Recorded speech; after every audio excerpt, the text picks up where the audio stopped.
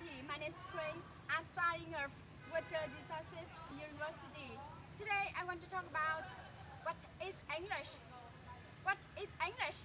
Of course, it's a language. But for us, it's not just a language.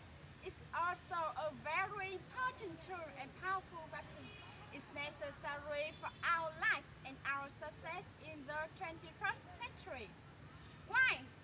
Why should master this language, tool or weapon?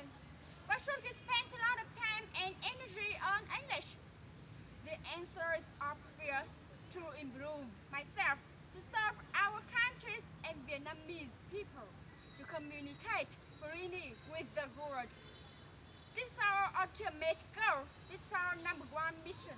My friends, let's master English to promote an international communication. Let's master English to spread